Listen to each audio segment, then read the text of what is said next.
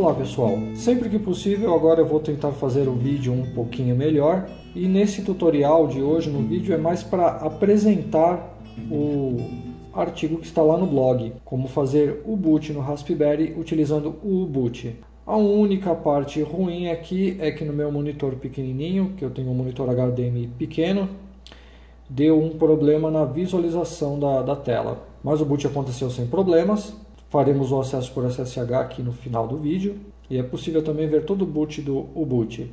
Depois disso aí vocês vão ver o crash que está dando também. Por fim, qual é a importância de fazer o boot com um gerenciador de boot diferente? Nesse primeiro momento não parece muito interessante, porque ele é mais lento do que o boot padrão do Raspberry. Mas com o boot podemos fazer boot do sistema pela rede por uma mídia externa então vai ser bem interessante é, aprender a configurar ele agora, para que nos próximos tutoriais possamos fazer algo mais elaborado. Valeu!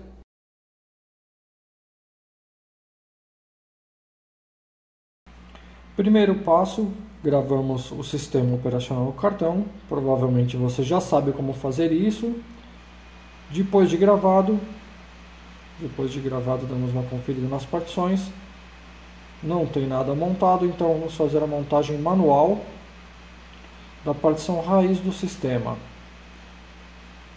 E vamos configurar o Wi-Fi manualmente para no primeiro boot já ter acesso a SSH para fazer a conexão remota. Aqui colocamos em WPA suplicante network igual o SSID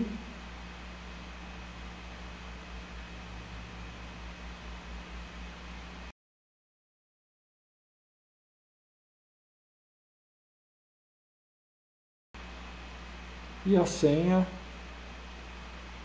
PSK. O nome do parâmetro é PSK.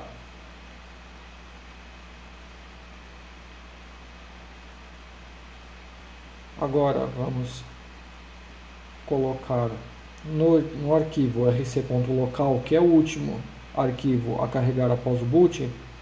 Antes de exit, vamos colocar a inicialização do serviço SSH e um e-comercial só para garantir que não vai ficar parado no rc.local.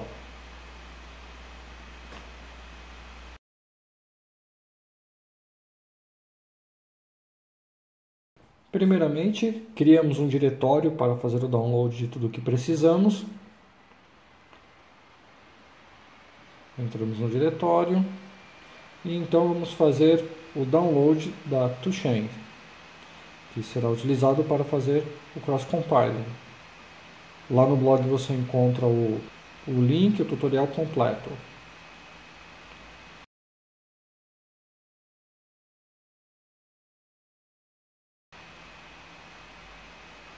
Segundo passo, baixar o Ubuntu.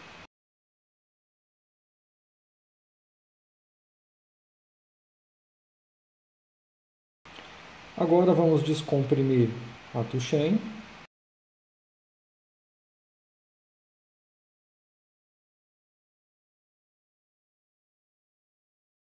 E adicioná-la ao path do sistema.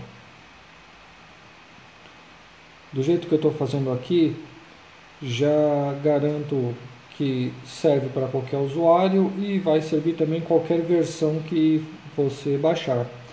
Então não vamos ter problemas de incompatibilidade do tutorial no futuro.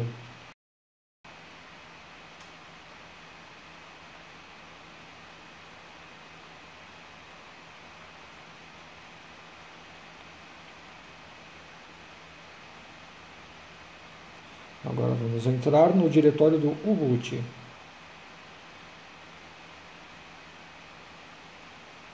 Limpar qualquer resíduo que possa ter. Agora não seria necessário, mas após uma compilação seria bom fazer isso caso você resolva fazer uma nova compilação. Então já deixo aqui o comando que problema não causa. Ah, vamos criar a definição para Raspberry Pi 3.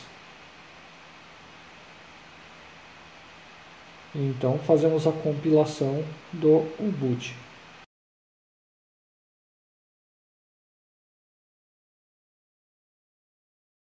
E menu J passamos o número de processadores dedicados à tarefa.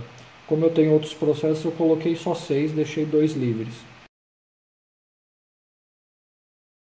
A compilação é bem rápida.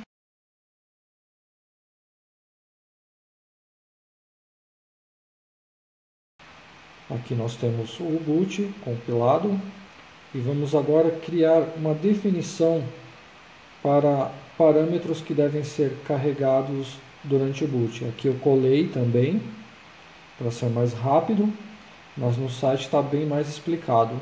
Esse vídeo é mesmo para mostrar o processo.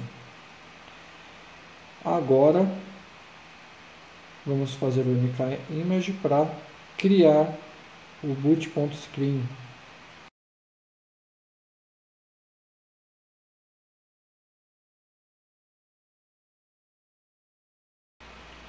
Agora vamos criar um config txt e aqui vamos utilizar unicamente o parâmetro kernel igual o boot.bin.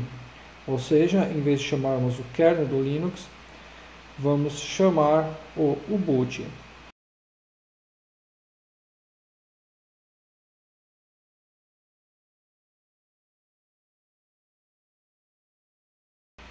Agora vamos ganhar acesso de root porque como o cartão já estava no slot,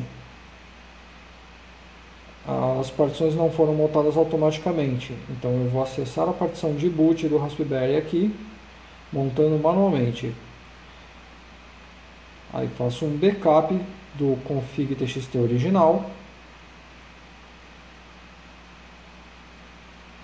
E agora faço uma cópia do config txt que foi criado do boot screen que foi criado e do boot que foi compilado.